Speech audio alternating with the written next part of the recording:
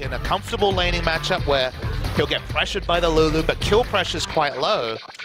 Freaka have a really nice draft, and let's see how the Gragas priority. 2-0 here, 1 and 6. What a world we live in. Oh, well, this could be a really good start here for SKT. Getting that flash from Songyun.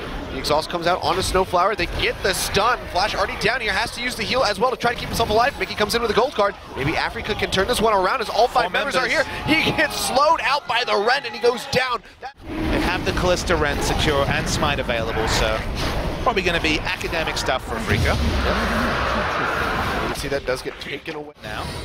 Yep, the dash coming through from Duke. Gets knocked back. Has to flash over the wall, but that's going to be two people chasing over the wall as well. Ikssu looking like he's going to go down. No mana, grand challenge just for safety. And he is going to fall. Shield, he's just delaying this as long as possible, but Duke will inevitably get that kill. Now we'll by Blank, who has to body slam into that. He throws out the barrel. Brent comes through, and that's the second dragon of the game, going over to Afreeca. 13 gonna stick around in this bot side, shoving his wave as much as possible. Duke du- dueling onto Ikssu here. He dashes forward onto Wolf, tries to get underneath the tower, boots away the Fiora. TP comes in from Faker though. Ikssu stunned into the wall with a cask, and that's gonna be a kill coming in for Blank actually. Faker not able to take that one away, but now two Open. As, Oh, Destiny comes through. Faker gets stunned up by the gold cards. A huge amount of damage from that Twisted Fate coming out. Flash over the wall here by Snowflower. Fate's Call comes in, pops up three members. And Afreeca, we're looking to wipe the floor with SKT. Snowflower still taking up the front side. Gets stunned up by the concussive blows. Lira, though, with the red buff. Can he find the kill on the Wolf? Throws out the Q. Isn't enough. Blank has to flash away. Flash forward. The auto attack finds the kill. As SKT do try to force up onto this tower, but the TP's coming in from Ikssu on the sidelines. No home guards, of course. Not yet 20 minutes. Goes in, stuns Faker onto the traffic cone, however. We are going deep. Will get locked up. Looks like he's going to go down. Duke finding that kill. And now it's just Songyun trying to kite back as fast as possible and slow him up if he can. Ikssu charges up the ultimate, throws it out, knocks away the Fiora, but to what avail? It looks like the rest of Afreeca just going to go down. Faker finding the kill, a double kill now as he takes down both Mickey and off of the, dragon. Moving forward here, Ikssu getting slowed up. Nice traffic cone to deny that dash forward by Duke, but he's still going in. Grand challenge down onto Ikssu is popped up by the wild growth, and he's just gonna fall. And just like that, Lira, the calling coming across, they dive in. Lira trying to dash away. Explosive Cask comes in. Fate's call goes out. They want to throw him back in. As Snowflower goes in. Faker really low, gets stunned up. Wild growth already used. Ton of damage coming through. Poppy knock up. Faker is gonna go down. Lira finds that. Just like that, Afreeca gonna net themselves their third dragon. Explosive Cask unable to steal it away. The smite comes through.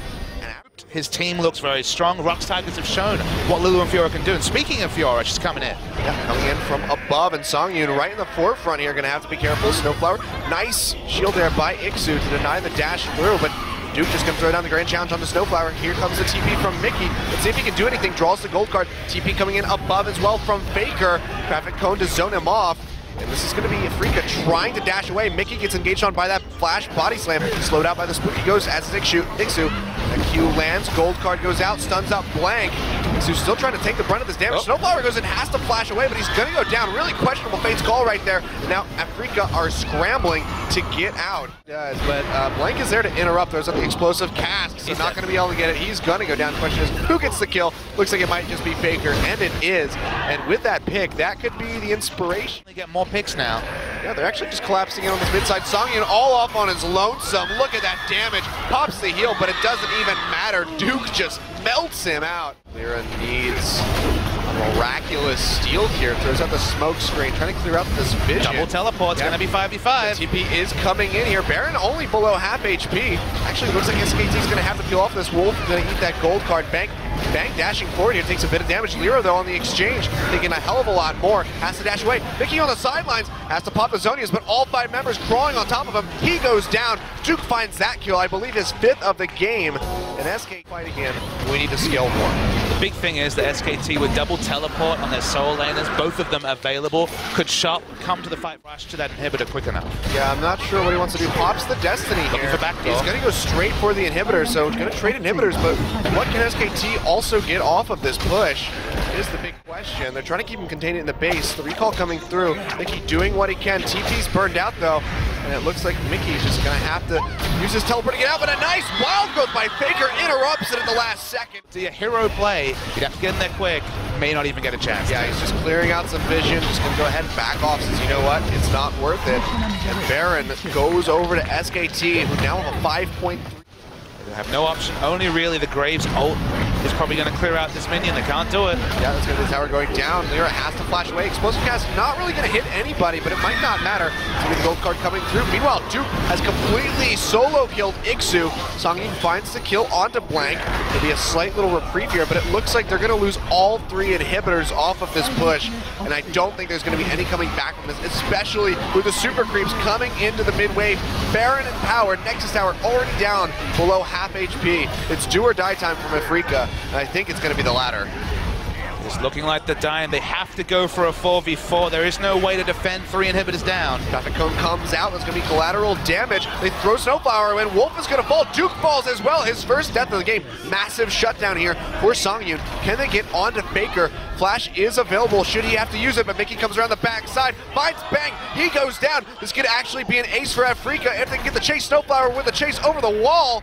It was at the cone, but Faker is just a it's quite just yet. It's just not enough. They also didn't get all the summoners, so Bang will have a Flash in his next fight. Wolf will as well. Duke dies with his summoners available. Bottom side. Inhibitor has respawned in the mid, but Duke should be able to finish this one off. Bang not quite going to get stunned into the wall there by Ikssu. Inhibitor goes down on the bot side. Let's see what Afreeca Freecs can do. This is really SK Telecom's game to lose at the moment. It's going to be Destiny Pop. Blanket stunned into the wall by Ikssu, but he's taking a hell of a lot of damage. Mickey comes around the backside, finds Bang. That's going to be the Wild coming through, and Mickey goes down. Bang's still alive, trying to life steal as much as he possibly can. He Songyun. does fall. Songyun going off here, finding himself a double kill. Can he get more? It's just going to be Duke and Faker standing. They're on him. He's polymorph. He goes down. Snowflower is going to fall. That's going to be the ace for SK Telecom. That's going to be the game, and we are going to game three. That was Duke there. He actually reposted, got the stun onto the Kalista, took him down. Duke was set up to succeed, and boy did he ever. 7-1 and 6, 8-1 and 7. Welcome return by Faker, and we're going to a game three. Yeah, and that was uh, quite the turnaround. We looked like SKT just completely scrambling for that, that first game. This time, coming into the game two, really looking like the team that we saw at IEM